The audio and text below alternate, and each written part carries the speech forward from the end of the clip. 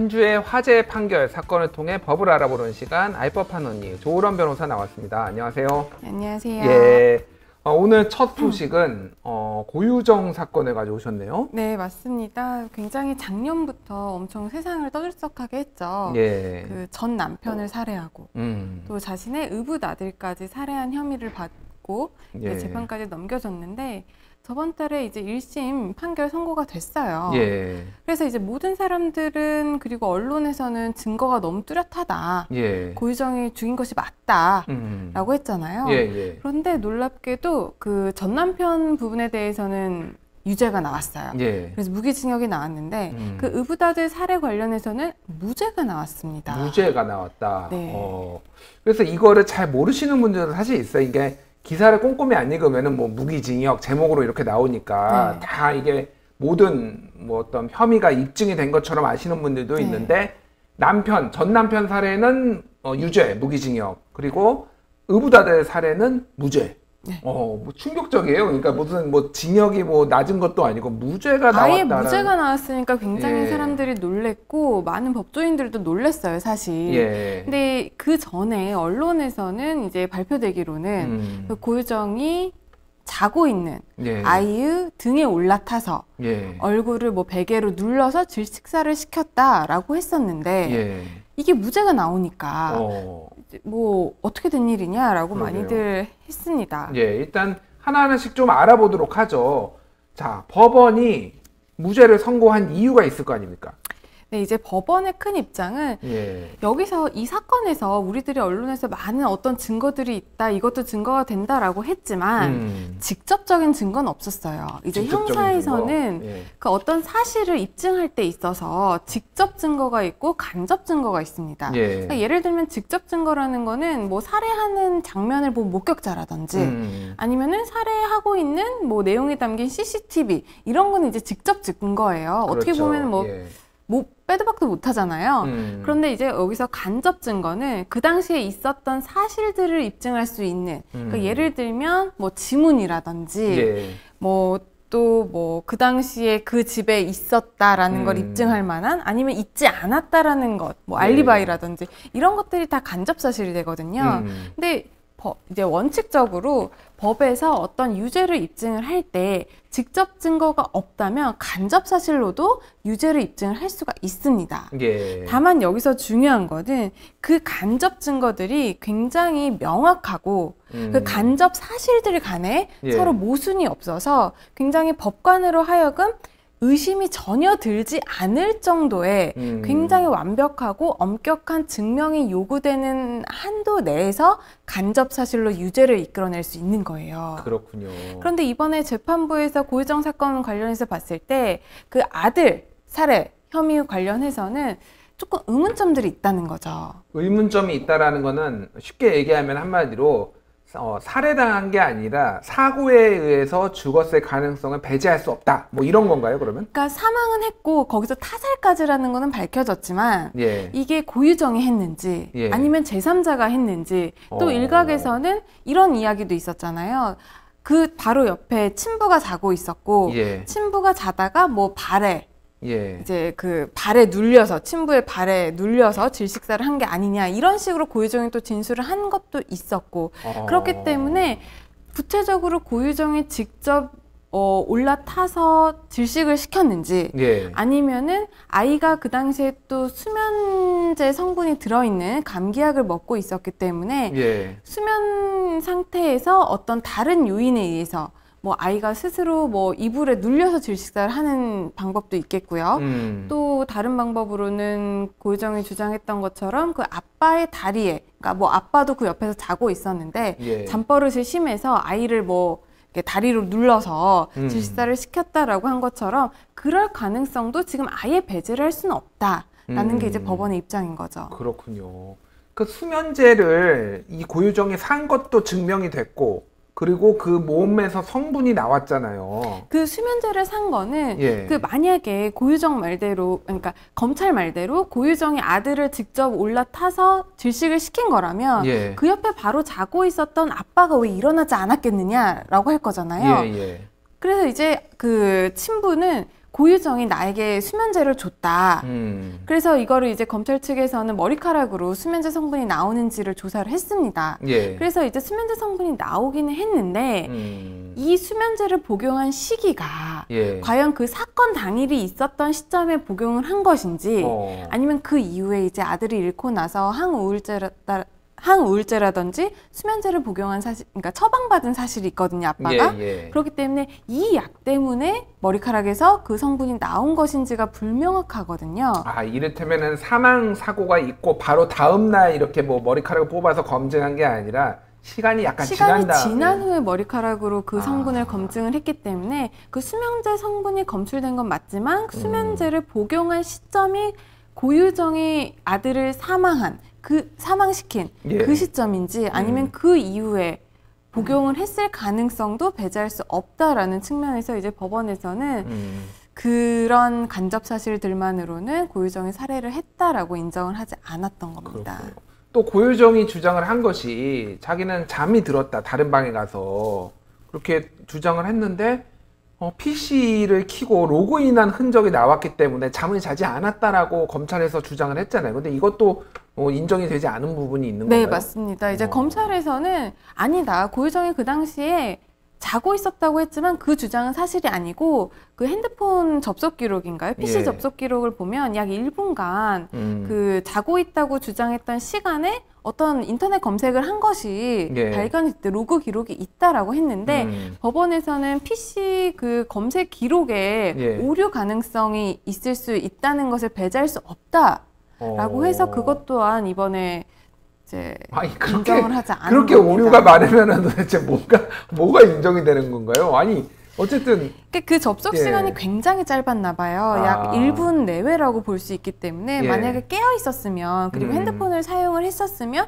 1분보다는 사람들이 일반적으로 더 검색을 하거나 예. 다른 뭐 업무를 봤을 텐데 어. 1분만으로는 이거는 PC 어떤 기록의 오류라고도 볼 수 있 다라고 재판부에서는 그렇게 본 거죠. 그렇군요. 어찌됐든 굉장히 엄격하게 지금 보는 것 같은데 저는 이거 판결을 지금 뭐 방송 준비하면서도 좀 보고 그러니까 예전에 오제이 심슨 사건 네. 그리고 김성재 살해 사건 이게 네, 약간. 많이 오버랩이 되네요. 네. 그러니까 어떻게 보면은 살인 사건 그리고 예. 민사에서는 이제 어느 정도의 이런 고도의 완성된 어떤 음. 증명력을 요구를 하지 않습니다. 그런데 예. 형사에 있어서는 이런 말이 있잖아요. 10명의 도둑, 10명의 음. 범죄자를 놓치더라도 한 명의 무고한 음, 그러니까 무고한 희생자는 없어야 된다라는 원칙도 있고 예. 또뭐 피고인에게 불리할 때는 불리한 때는 뭐 유리하게 해석을 해야 된다. 음. 이런 법 원칙들이 있어요. 그렇기 때문에 그러한 입장에서라면 이 한 사람의 무고한 인신 구속이나 신체의 자유를 박탈하는 데 있어서는 음. 굉장히 유죄를 입증하기 위해서는 엄격한 증명을 요한다는 게 형법의 대원칙입니다. 그렇군요. 그렇기 때문에 이 정도의 간접 사실 그리고 법관이 아 의심이 되지 않을까라고 하는 그런 의심을 불러 불러 일으키는 간접 사실들로 들만으로는 유죄를 입증하지 못한다라는 게 법원의 주류적인 입장입니다. 그렇군요. 오제이 심슨 사건 뭐 잘 모르시는 분들 있는데 간단히 말씀드리면 그 자신의 아내를 살해, 살해 했다고 아마 미식축구 선수였던 유명한 네. 그 스포츠 스타였는데 그래서 기소가 됐는데 결국은 배심원단이 무죄를 내렸는데 형사에서는 승소를 했는데 민사에서는 또 졌어요. 그래서 네. 엄청 많은 돈을 또 배상을 했어요. 그래서 이게 뭐지? 그러니까 살해 혐의를 인정했다라는 건가 민사에서는 약간 막 이상했어요. 저는 개인적으로 그 판- 우리나라 예. 법에서도 형사 사건과 민사 사건을 원칙적으로는 개별로 보고 있어요. 어. 그렇기 때문에 형사 사건에서 무죄가 나왔다고 해도 예. 민사저 민사 법원에서는 다르게 판단을 할 수 있는 겁니다. 어. 그렇다고 해서 민사에서 어떤 이 사람한테 책임을 지웠다고 해서 그게 꼭 유죄가 되는 건 아니거든요. 또 형사법적으로는. 그렇군요. 그렇기 때문에 이번 사건이 이렇게 나온 거고 음. 이번에 또 이제 항소심 공판이 열렸었어요. 엊그제. 엊그제. 예, 엊그저께 열렸죠. 그러면은 예. 이제 1심에서 그렇게 깨어진 1심에서 인정하지 않은 그런 간접 사실들을 검찰에서는 더 증명을 하려고 할 것이고 그렇게 본다면 제일 중요했던 그런 수면제를 복용한 시점이라든지 아니면 그 타살 가능성 고유정이 음. 죽이지 않고 제3자의 개입이 있었을 수 있다. 크게는 이제 그 침부의 다리에 의해서 질식사했을 수 있다라는 것들에 대해서 전문가들을 아마 불러가지고 음. 굉장히 과학적으로 입증을 하려고 할 겁니다. 그렇군요. 굉장히 좀 관심이 쏠릴 수밖에 없네. 6월 17일에 결심 공판이 진행이 되고 그 다음에 이후에 이제 판결이, 판결이 나는 거죠. 나겠죠. 2심, 2심 네. 판결이 나는 거죠. 알겠습니다. 이거 좀 어떻게 판결이 날지 얼마나 법원이 이 부분을 좀 인정을 할지 한번 지켜보도록 하겠습니다. 자, 다음 주제로 넘어가겠습니다. 삼성전자 이재용 부회장이 오늘 검찰에 소환이 됐는데 제일모직 삼성물산 합병과 관련해서 지금 소환이 된 거예요. 네, 끊임없이 이게 전에는 이거 이 건으로는 소환이 된 적이 없다라면서요. 없다면서요. 그러니까 뇌물 공여로 소환이 된 거지 이 그쵸. 건으로 직접 소환이 된 적은 없다면서요. 그런데 사실관계는 비슷해요. 사실관계는 비슷하다. 이게 어떻게 된 예. 거냐면은 이제 예전에 그 삼성물산 그리고 제일모직이 합병을 했잖아요. 예. 합병을 함에 있어서 제일모직보다 삼성물산이 훨씬 가치가 높으니까 음. 합병을 어느 정도 비슷한 수준으로 해야 되는데 비슷한 수준으로 하려면 제일모직의 자회사인 그 삼성바이오 의 가치를 부풀려서 음. 삼성물산과 제일모직이 어느 정도 대등한 수준에서 이제 합병을 해야만 음. 그 이재용 씨의 그런 경영권 승계라든지 예. 주식 보유량이라든지 이런 것들에게 유리하게 꾸려 나갈 수가 있었어요. 음. 그거를 위해서는 이 합병 과정에 그 대주주인 그 국민연금의 동의도 필요했고 예. 이 국민연금을 움직이기 위해서는 박근혜 전 대통령이라든지 뭐 박근혜 전 대통령의 측근이라든지 이런 사람들한테 뭐 뇌물을 수수한다든지 잘 보이게 함으로써 이러한 합병 과정이 원활하게 움직이게 하- 해야 했죠 어떻게 보면은 음. 그 과정에서 그 뇌물 관련해서는 그 국정농단 사태에 있어서 1심에서는 뭐 징역 5년, 2심에서는 집행유예가 나와서 이제 풀려났는데 음. 이번에는 아예 그 합병 자체 그리고 그 과정에 있어서의 어떤 배임이라든지 주주들에 예. 대한 배임이라든지 그리고 분식 회계 음. 관련한 그런 자본시장법 위반을 가지고 이번에 소환이 된 겁니다. 그렇군요. 근데 이 건도 사실은 그때 당시에도 굉장히 논란이 돼가지고 민사가 여러 건 있었던 걸로 저는 알고 있어요. 최근까지도 여러 건 있었고요. 소액주주들이 네. 굉장히 이거 부- 내가 손해를 봤다 그래가지고 삼성을 상대로 했는데 대부분이 다 졌습니다. 민사에서는 그렇죠. 대부분이 졌는데요. 예. 아직까지도 지난 뭐 1월인가요? 1월인지 2월인지 제가 정확한 월은 기억이 안 나지만 음. 계속해서 끊임없이 소액 주주들이 계속해서 손해배상 청구 소송이라든지 이런 거를 제기를 하고 있어요. 예. 거기에 대해서는 아직까지 모두 다 패소를 했다라고는 아직까지 결론을 내리긴 좀 힘든 상황입니다. 예, 아직 모두 패소는 아니지만은 상당 부분은 패소한 네. 사례들이 좀 쌓여 있는 상황. 근데 어쨌든 말씀하셨듯이 민사하고 형사는 또 다른 부분이 있는 거잖아요. 그러니까. 그렇죠. 그렇군요. 뭐 참고는 할 수가 있겠지만은. 만약에 이번에 이 형사 사건에 있어서 뭐 배임이라든지 자본시장법 위반 혐의가 인정, 그러니까 아직 기소도 되지 않은 상황이잖아요. 예, 이제 예. 수사를 했고 이제 거의 수사가 끝나서 이제 기소를 할지 말지가 달려 있는 부분인데 이 부분에서 그런 법 위반 사실들이 이제 유죄 판단이 나오게 된다면 음, 그 이후에 또 손해배상 사건에 대해서는 좀 결과가 달라질 수는 있습니다. 그렇군요. 그러니까 참여연대가 특히 이제 이거에 관련해서 고발을 많이 했어요. 배임, 자본시장법 위반 혐의 이런 걸로 했는데 방금 설명하신 그 부분인 거 참여연대가 지금 어, 고발을 한 거죠. 그러면은 이게 지금 향후 합병이 될 가능성이 있는 건가요? 이, 아니, 그러니까 이 케이스가 만약에 검찰이 네. 기소를 이 건으로만 따로 하, 한다라면은 나중에 지금 파기 환송심된 그, 그 케이스하고 지금 별도로 기소하는 거하고 아닙니다. 따로 합, 네, 합병되는 합병이 될 가능성, 병합이 될 병합, 가능성은 병합이 될 없고요. 거의 없어. 이미 이거는 아직 기소도 되지 않은 사건이고 예, 거기는 이제 거의 1심, 2심, 3, 그러니까 2심까지 가가지고 파기환송이 된 거기 때문에 음. 두 개가 병합돼서 이제 이루어질 가능성은 없다고 보여집니다. 그렇군요. 그러니까 기소 여부가 일단은 검찰이 기소를 할지 말지 여부가 중요하겠네요. 이거는 그러니까. 그런데 거의 1년 반을 이 수사에 매달렸거든요. 검찰 입장에서는. 예, 예. 그렇기 때문에 이제 구, 기소는 할 것으로 어느 정도 생각이 됩니다만 음. 과연 이 기소를 함에 있어서 또 구속 기소를 할지 예. 불구속 기소를 할지는 좀 지켜봐야 될 것 같습니다. 그렇군요.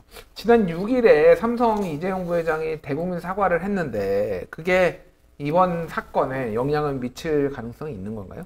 일단 대국민 사과를 한 거는 음. 이번 사건 때문에 한 건 아니고 그 국정농단 사건 예. 그 파기환송심에서 그랬으면 좋겠다라는 권고도 있었고 음. 삼성 내부적으로도 대국민 사과를 하는 게 좋다라고 판단을 내려서 대국민 사과를 한 건데요. 예.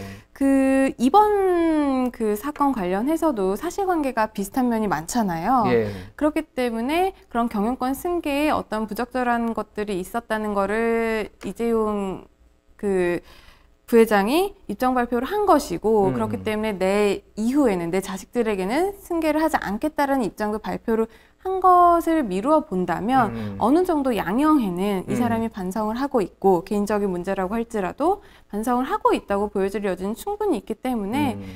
영향은 있을 것으로 판단이 됩니다. 정상 참작의 여지가 있다. 이렇게 파- 재판부가 판단할 가능성이 있다라는 거죠. 있다고 그러니까. 봅니다. 그렇군요. 그게 재벌 봐주기 아니냐 이런 여론도 사실 많아요. 재벌이 반성만 하면 왜 이렇게 봐주냐. 사실은 음. 이제 좀 불만들이 있는 분들도 많은데 알겠습니다. 지금 파기환송심은 재판이 그러면 어떻게 되나요? 지금? 계속 이제 재판부에서 그 재판부를 기피 신청을 해가지고요. 음. 아직까지 파기환송심이 제대로 열리지는 않은 것으로 알고 있습니다. 예. 그러다 보니까 아무래도 계속 절차가 지연이 되고 있고 음. 그래도 이- 어쨌든 간에 이제 형사 절차는 진행이 되거든요. 민사 소송은 굉장히 한 약간 무한정으로 늘어질 수가 있는데 형사 사건은 음. 그러질 않아요. 그렇기 예. 때문에 어느 정도는 빨리 재개가 돼서 결과가 나올 것으로 예상을 하고 있습니다. 그렇군요. 그러니까 언제 이게 판결이 날지는 아직 모르는 거네. 현재 일정상으로 봤을 때. 예, 현재 이제 재판부 기피 신청을 했고 그 음. 다음 재판부에 대해서는 어떤 결정을 할지를 아직 그 변호인단이 입장 발표를 하고 있지 않은 상황이어서 음.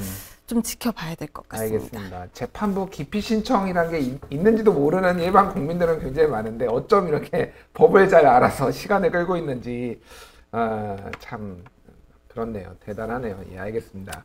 자, 핫식스가 데일리 방송을 이제 마감을 했어 이번 주까지만 하고 그래서 우리 조우람 변호사님하고는 오늘이 마지막인 네. 것 같아요. 굉장히 자, 아쉽네요. 예, 굉장히 아쉽고 너무 그 처음부터 너무 많이 도와주시고 좋은 코너 만들어 주셔서 저도 참 항상 감사한 마음이었는데 저도 많이 아쉽습니다. 어쨌든 뭐 다음에 또 좋은 기회가 있으면은 하고 네. 사실 저희는 또 김현정의 뉴스쇼에 요즘 나오시잖아요 재판정에 네. 그래서 자주 뵙는데 어쨌든 제가 한 가지 말씀드리고 싶은 거, 예, 예. 맨 처음에 이 코너를 한다고 했을 때 많이 음. 부족한데 제가 이걸 어떻게 잘할 수 있을지 굉장히 걱정을 많이 했습니다. 음, 근데 이제 김준희 기자님도 그렇고 여기 계신 제작진 분들도 그렇고 너무 많이 잘 도와주셔가지고 제가 음. 이때까지 할 수 있었던 것 같고요. 또 뭐 다른 방송이나 아니면 또 기자님이랑 같이 해서 여러분들께 도움이 되는 정보를 드렸으면 하는 게 제 개인적인 바람입니다. 예 알겠습니다. 저희는 또 다음 기회가 있으면은 다음 기회에 또 찾아뵙도록 하겠습니다. 지금까지 알법한 언니의 조우람 변호사였습니다. 감사합니다.